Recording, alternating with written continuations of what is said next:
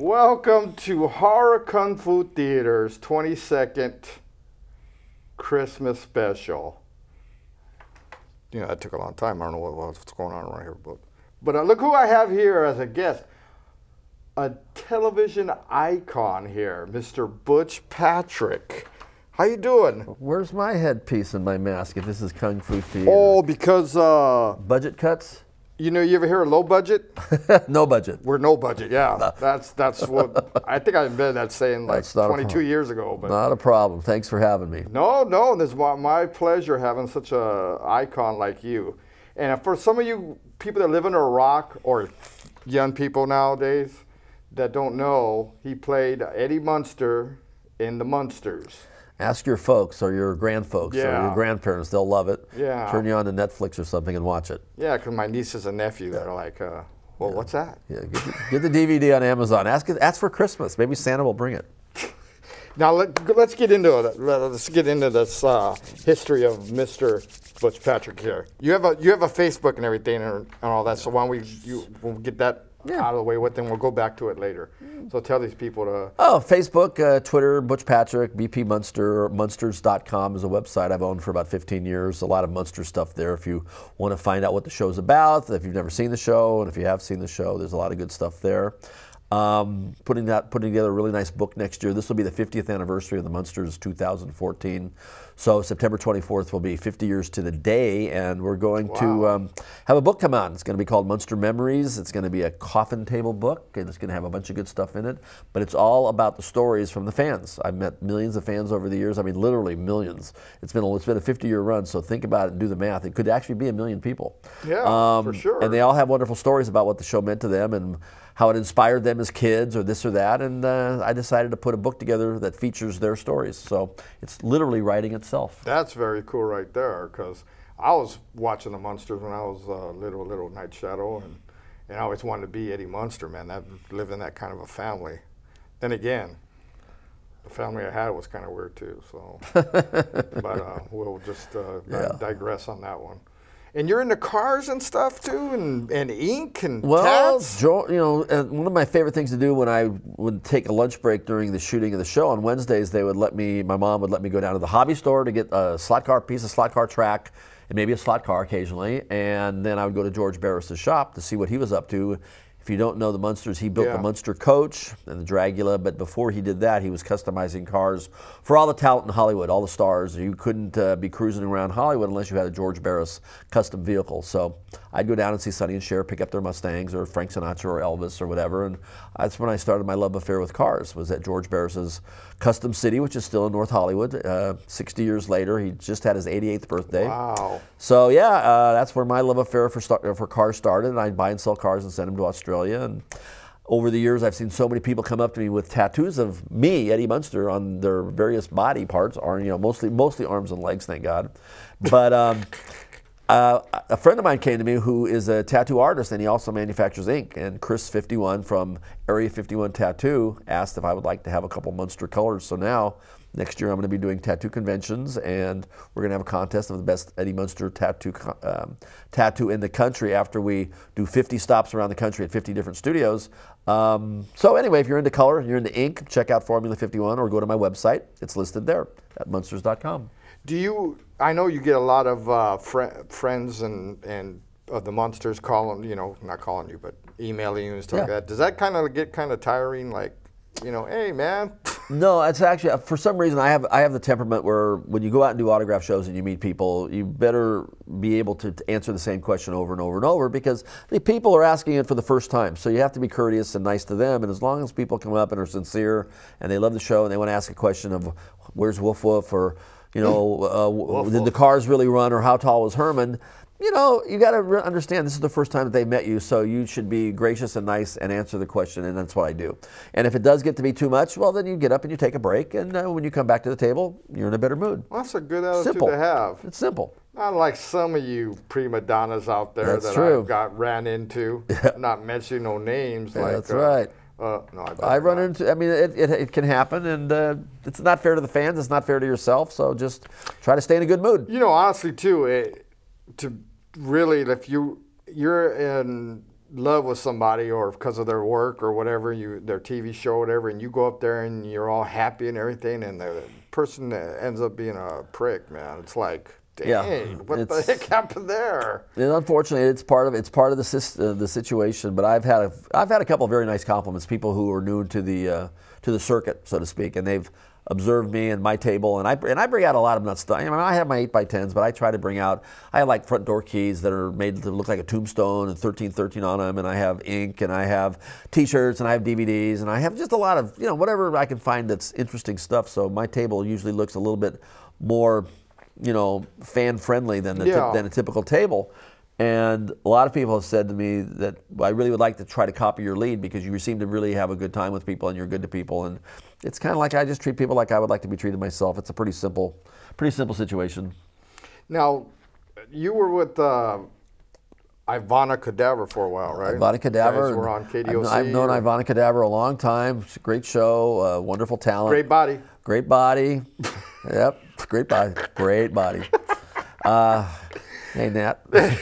Hey, Nat. hey Nat.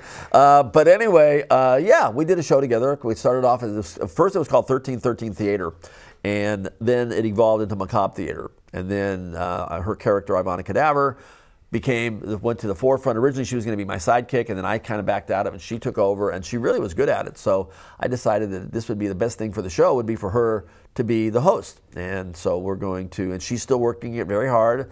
And we've, I think she has like 48 shows in the can. So I think 2014, Wow, you'll see you'll see a new and improved. Um, not that it had to be improved, but a new version and an updated version. And I think she's going to call it uh, Goat Sucker, Goat Sucker Productions or something.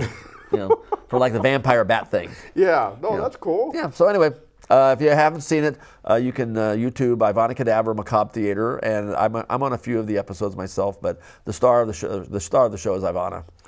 Now, you know, doing that show when you were a kid, was that a happy times or was Oh, it yeah. here and there or Well, you know, I was the only kid on the lot, so I was 11 and 12 and a little bit of 13. So what little boys would like to do and young boys would like to do is they like to explore. I mean, that's what I did when I, whether I was working or not. But imagine if you had the whole run of the Universal back lot at your disposal, and that's what I used to really look forward to. Were my days when I wasn't working and I could go exploring. Um, the Phantom of the Opera set, the, the soundstage, the largest soundstage in Hollywood, was right next to us. Um, my uncle used to supply horses to Wagon Train in the Virginian, so I'd go visit Uncle John.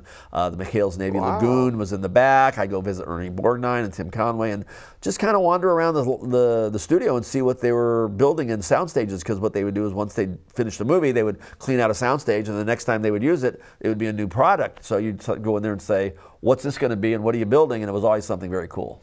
Did you go to a private school or uh, homeschool or a regular It's kind of a homeschool. They supply you with a tutor. Yeah. Three hours a day.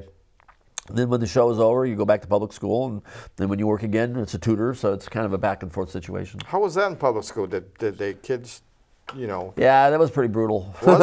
yeah. They didn't treat you like, uh, Eh, you know, kids are kids. You know, just yeah, you know, you're right. that's one of the ways I got thick skin. I just figured if the roles were reversed, I would probably be on the other side, you know, taunting myself or taunting the person. Yeah. But uh, it gave me thick skin and it taught me how to be a survivor. And I was very small for my age, and when I went back into the junior high system, I was in the seventh grade. And after the first day, they threw me out because I was causing a disturbance because all the kids weren't going to class and they were all hanging around the nutrition bench and, you know, looking at Eddie Munster eat his, you know, honey bun and whatever. And then, um, they kicked you out because of that? huh? They kicked you out because of that? Yeah, the, the vice president came and got me. The vice principal came and got me and threw me out and said, "He's causing too much of a disturbance. We can't have him." And I went back the next day, and then they threw me out again. And then the next day, the third day, they finally they let me stay. And um, but the bottom line was, I got very smart. I befriended a couple ninth graders real quick, and then I had my little, you know, my protectors, and then. Um, but you know, it was it was tough. It was a, it was a tough first year because um, you know the kids will be kind of they can be cruel, but at the same time it gave me thick skin and kind of made me who I am today, which is a very tolerant person. Yeah, you cruel little kids out there. It's Christmas. time. Bullying. Hey, Santa ain't gonna give you nothing for Santa Claus ain't gonna give you You're nothing. gonna get coal. Christmas. Not even coal, unless he throws it at you, you little miscreants. Dang. And that, that vice president guy, you bastard. You ought to be ashamed of yourself. He's probably dead though, huh? Yeah. well, uh, his son or daughter, you should be ashamed of yourself out of having a dad like that. Now, do you have tattoos? I only have one It's my back shoulder blade, and it's a comedy and tragedy thing, and it's got my sobriety date in it. So it's a leg. It's just not ink to be inked. It was actually a, a significant symbolic mm-hmm. gesture, and I did it for a friend of mine, Tattoo Tony, who does all Bret Michaels tattoos. He was uh, doing a TV show pilot, and he wanted me to be on it, so I said, okay, I'll get a tattoo for you. And then now next year, I'm having Kat Von D do an Eddie Munster on my Ooh, other shoulder blade. Kat Von D. Kat Von D, she's a hottie. Yeah, she is. And uh, have her do one to introduce the ink. So it's kind of an interesting thing. I mean, I don't. I like the artwork today for tattoos. It's it's way past what it used to be 50 years ago with an anchor and a mom and a dripping dagger yeah, or something. Yeah. It's become very much an art form, and these guys are very talented. So um, if you're looking for some good ink and you've got some color going on, or even if you have a tattoo studio, go to my website, contact me, munsters.com, and maybe we can do a, uh, a promotion for you. So is let, let me get this uh, right though, because I'm kind of slow from chair shots and the wrestling world and mm-hmm. everything. Is is it you guys develop? You develop different colors? Yeah, there's 52 colors of, uh, of, of, Formula 51. There's two Munster colors, mm-hmm. there's, a, a, green and a purple, but there's actually 52 colors, one for every week of the year, I suppose. But anyway, there's a bunch of colors, and it's really vibrant, and it's high pigmentation. It's got a high pigment count, so the tattoo artists love it because it's a really good ink, and it's got witch hazel in it as an ingredient, which makes it bright. Wow! so the people that use it like it. That's cool. Yeah. Now, have you ever um, talked to people like saying that they have a tattoo of, of you on them? Yes. They come up to you? I have a lot of them. A there's lot been, of people? Yeah, a lot of people. A lot of people have got the Munsters, uh, not so much myself, but the, the whole family. Uh, in fact, I'll tell you one of the funniest stories that ever came up. This guy came up and he had a really beautiful Eddie Munster right here, and he's showing me. And my only response to him was just, "Tell me you're left-handed, please." you know, we have a guy on the show. I for, I just now thought about him. He he probably uh, he he comes on the show. We call him the heart, the human horror tapestry. Yeah. He, his name is Daniel Gonzalez, and he has tattoos everywhere. Now I'm thinking about. it, I think he has one of you on there. It wouldn't be surprise me, and it's the you Universal might. Monsters. You know, the show is developed from the Universal Monsters. So whether it's Frankenstein, Elvira, the creature, Wolfman, vampire, you know, uh, Dracula the monsters were basically those monsters, just yeah. friendly ones. So you can use the Universal monsters, the old school monsters, or the monsters themselves. But a lot of people have those shows. You know, I heard who, who like, uh, this character was um, Grandpa. Yep. And I've heard all kinds of stuff. At one time, I even met him long time ago when he uh, they had a what was that? I think it was Famous Monsters convention over here by Universal. Uh, the one of the hotels by there. I think it was. It was probably Beverly Garland. Something. the Beverly Garland Hotel by Universal. Yeah. Oh, he's a character, yeah, man. He's, he's he was yelling at somebody. He had a cigar and he was like, yeah. I was actually at that con. Uh, he he got out of control that day. He yeah, was, he, was, he, was, really over the top on these people, and, and it wasn't very nice. It really wasn't. That's that must have walked right in when I seen him because he was yeah, going he, off. He was really he was really having a, a, not a meltdown, but it was close to it. But he was he was for some reason he was very mean that day. He was very mean spirited, and a lot of times he's funny, mm-hmm. but that particular day he was mean. And I did a lot of apologizing to a lot of people that day. For his antics. But normally he wasn't like that. Normally, well, guy. normally you remember him. I mean, you know, you remember him whether you love him or whether you hate him. Yeah. You remember him. Usually you love him, but this particular day, yeah, it was a lot of complaints days, uh, about that day. Yeah, he was telling somebody off. He didn't, and I kind of was like agreeing with him, but then he kept on. And I was like, oh, okay, well. Yeah. So I didn't. I turned around, and walked away because yeah. I was scared. I know. I remember. It was at the Beverly Garland Hotel. I remember. I was scared, so I didn't want to have. You know, I, was, I was probably my prime that day. All you know, not so many burritos and everything. and I was buffed and everything, but I don't want no part of Grandpa, man. I, I was scared of him. Yeah, Grandpa, by the way, Grandpa's like six foot three. He's a big guy. Is he? Oh yeah, everybody thought he was little because he was standing next to Herman, who was seven foot tall with his shoes on. But Al's actually was I a big was a big that. man. Yeah, he was a good sized gentleman. Wow, I thought because when I seen him, he didn't look. Then again, and, I wasn't don't let that one particular day be represented. that, was, no, that was one day in a I man's life, 84 him. years, and it was just happened to be a bad day. I think yeah. he just probably had the you know a mild little meltdown of some sort. In fact, I think I liked him more. okay. Just, just because he could do it. He was going off, man. He was like telling me, "You ain't gonna. Hey, I didn't like the way you were looking at me, man. So you're not. I'm, you're gonna hear something right now." Yeah. Is there any episodes that were your favorite one of the Munsters that you really? I have several. I have well, basically three because there's 70 episodes, and they had written me. A lot of times, originally when you do a series, the kid by nature, a lot of times they just they have minimal parts for kids. You kind of walk into a scene, you say a line or two, and then you kind of meander off. But for some reason, the the rapport that we had with Fred Gwynne, who played Herman, and myself and Grandpa, they started writing a lot of good scripts for Eddie with a lot of dialogue and a lot of interaction with the adults. So like a regular character, like you're, you're one of the you're one of the big three type of thing. So the one that I really enjoyed the most was when I grew a beard and. Not only was it funny to see a 10 year old kid with, with a full beard, but it was also yeah. very funny that Paul Lynde played Dr. Dudley and his and how he handled the Herman Munster coming to see him and looking out the window and seeing me with the beard and a paper bag over my head. Very funny stuff. uh, the other one I like a lot was Zombo, where I thought a TV host like Yeah. yourself was a real guy, and I won a contest. And when I went to the studio, I saw that it wasn't real. Yeah. And I was very depressed. And that was Louis Nye, world class co- Yeah. comedic He's- actor. yeah. Played Zombo, and that's a good one. And then Hot Rod Herman, where we went to the drag strip, lost the Munster coach. Grandpa built the Dragula out of a coffin and some stuff, and then we went back and went, won it, and that was the introduction of the Dragula into the show. And I like that because I love cars, and we were at the drag strip, so that was pretty cool. You know, speaking of Zombo, there's there's a character in uh, Nevada who took that over. I don't know how he got Zombo? permission. Yeah. No, there's actually a, there's actually a football player named Zombo too. There's Is a- there? yeah, there's a he's a, uh uh uh uh an end. I think he's a defensive end with the Kansas City Chiefs or something. But somebody there's a guy named Zombo. I thought that was hilarious. Yeah, his last yeah. name. I don't know how. Like I said, I don't know how he got, but he dresses like him. Yeah. And and in fact, I think he's on uh, coming on a channel over here in L.A. When I forgot what it is, but the way they describe the character is him. It's Zombo because he looks like Witchy Poo, little bit, and with the hair like a clown, maybe. Witchy poo. Yeah, the nose. Oh, the nose. yeah, the oh, nose. yeah. Looked- you know, I worked with I worked with Billy I know you did. on Lidsville. She was my genie. Lidsville was a was a good show. it was the man. cuckoo kookiest. Yeah, but it was a cool show. Who, who's the uh, people that you worked with over there? Charles Nelson Reilly and Sid and Marty Krofft and Gene, Billy Hayes, and then uh, lot every see when you grow up in Hollywood, uh, you have stand-ins are little people. They don't Yeah. use other kids to stand in for other kids. So I got to know every little person and a mutual friend of ours, Felix Silla, and, Yeah, good old Felix. and lots of other people that I've known over the years that were my stand-ins went over to Paramount in '71 and were part of the Lidsville Little People Hat Colony that Uh-huh. we had. We had about 25 little people working. That was a summer to remember between Charles and Billy and myself and all these little hat people running around. It was a summer. It was it was a very crazy summer. And that was that cool working with them. And Oh yeah. Well, we did. It was the first show that ever used chroma key, and then we also had three cameras going. Uh, we had a director on another soundstage, so you had the big booming voice from above, like a you know, like God was talking to you about this. yeah. So it was kind of interesting. I'd never never done that before, but it was very. Um, it was very uh, a progressive uh, pro- a progressive production. We did like 18 pages a day, wow. which was a lot. Witchy Poo, man. Witchy Poo yeah. and Weenie Genie. I said, can't you change the name of this character from Weenie Genie? Is there, is there any chance? Oh, Weenie, come forth. Yeah, And I look, yeah. at, I look at the director on the monitor. I go, It's different times. ah. And uh, is there any other shows that you worked on that you?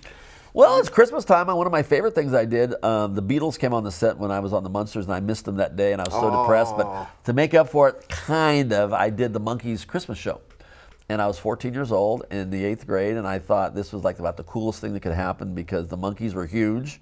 It was a TV show. I was the guest, the main guest on it, and I played Melvin Vandersnoot, and the Monkees were there to teach me the meaning of Christmas, and uh, they had a really tough time of it. But what a great week it was for a kid to be working with the Monkees in 1968. I would imagine, yeah. Uh, now this might be, I think this might be an urban legend. I don't know, or myth or something. But didn't one of those guys' family invent whiteout or something? His mom did.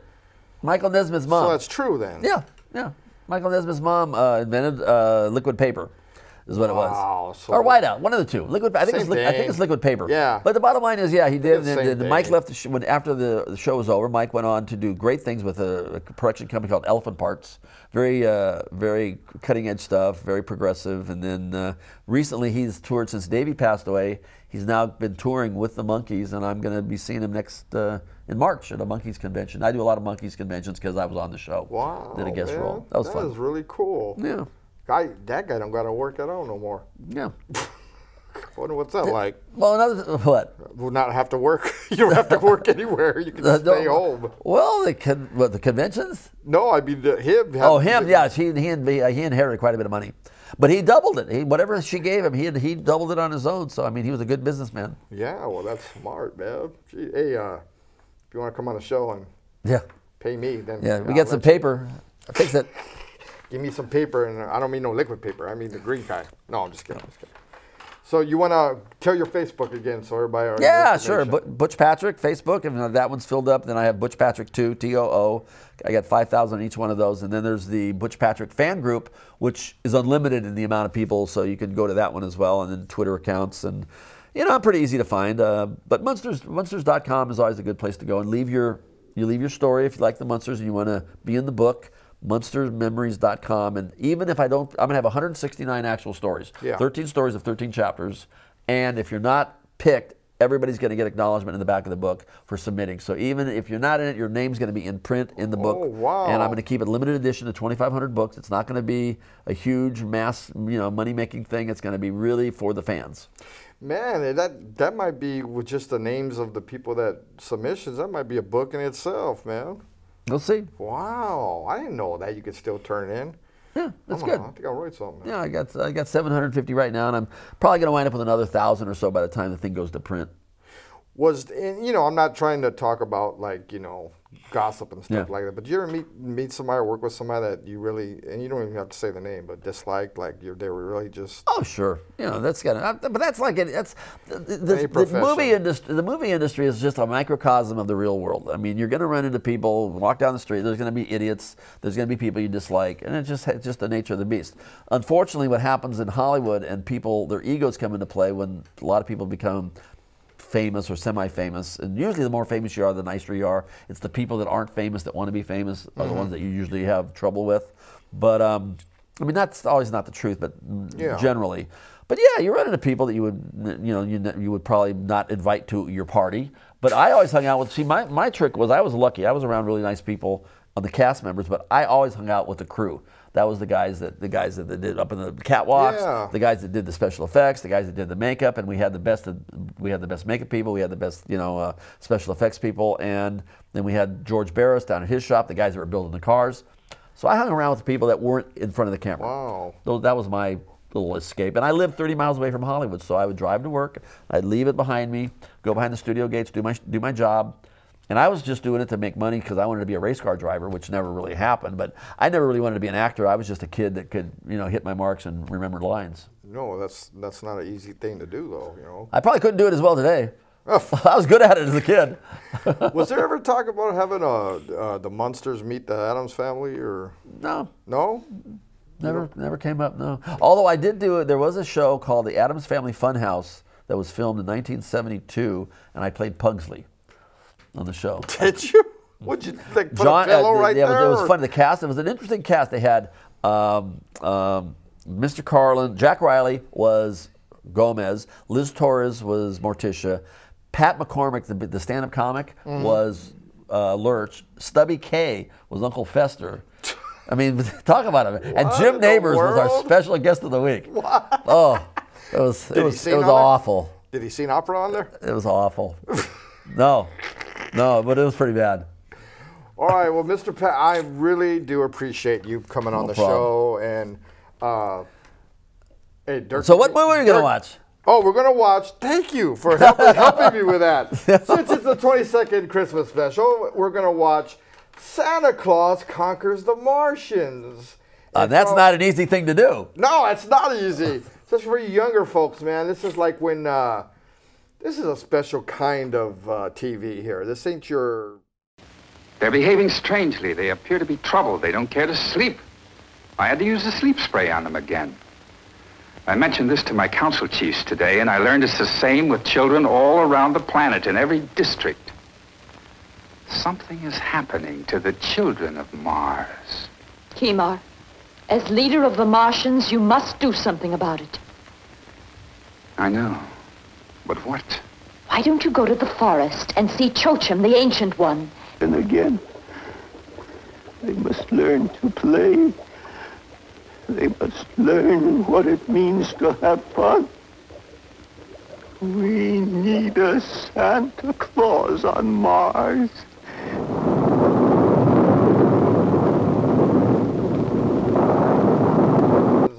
Uh, that's not an easy thing to do. No, it's not easy. Especially for you younger folks, man. This is like when uh, this is a special kind of uh, TV here. This ain't your computer graphic stuff like this. This is the real edgy kind where they have a robot and he's in like uh, tinfoil. And they're it in- green. yeah, and they're green. And and my favorite character on there was Floppo. Remember him? I haven't seen it in He's a that weird one, I'm looking right? forward to it. Yeah, being a horror host, you know, we I know all this stuff. Well, not all of it, but but we're gonna play Santa Claus conquers the Martians, and uh, we'll have your information at the end of the show too Yeah. for people. It'll be on the crawl. Yeah, can you hear some of you people? Santa for bringing happiness to the children of Mars. And the Christmas spirit to all of us. Son, from the bottom of my heart, I wish you and yours the very best of everything. Ho, ho, ho! Merry Christmas, everybody! Truffle Claus is here! Ho, ho, ho! Merry Christmas! Oh, you forgot wait. oh, yes! No pillows! Look! Look, kids! No pillows!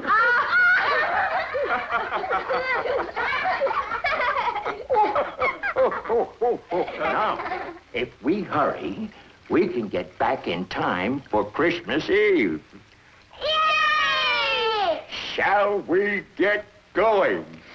Yay! Goodbye, dear friends. Away!